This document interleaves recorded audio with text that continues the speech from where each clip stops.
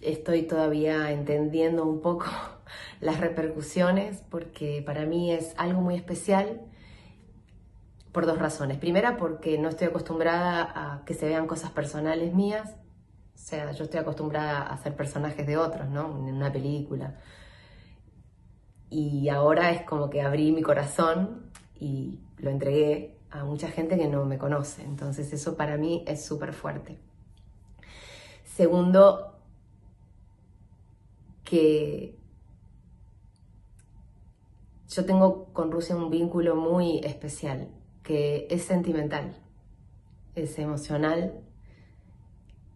Y pienso que ahí está un poco el secreto de la buena aceptación y esta repercusión, ¿no?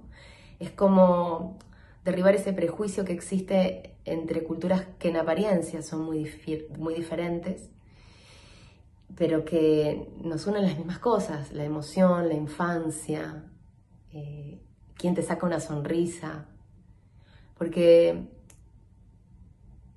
yo también compartía con mis seres queridos esto que sucedía ya desde hace más de 20 años, pero quedaba en esa anécdota. Creo que ahora cuando lo ven, toman esa dimensión de la conexión espiritual que existe. Y a mí me pone muy feliz eso, es poder de alguna manera ser un puente de amor entre dos culturas y derribar esos prejuicios que existen también. Eh, me, me, pone muy contenta, yo los amo. Yo hablo de Rusia y a mí es como que el corazón se me agranda.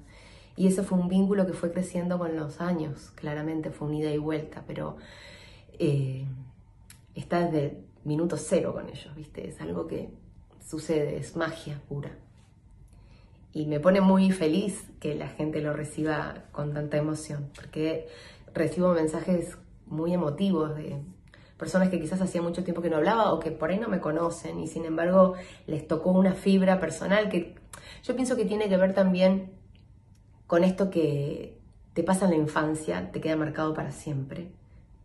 Y en alguna medida todos nos reconocemos en ese lugar, en esa niña o en ese niño que fuimos a los ocho años, que es un poco lo que me pasa a mí, esa vuelta del origen. Me coloca en un lugar de mucha vulnerabilidad y de mucha verdad, ¿no? Es decir, bueno, yo soy esto, sigo siendo esto y no quiero dejar de ser esto.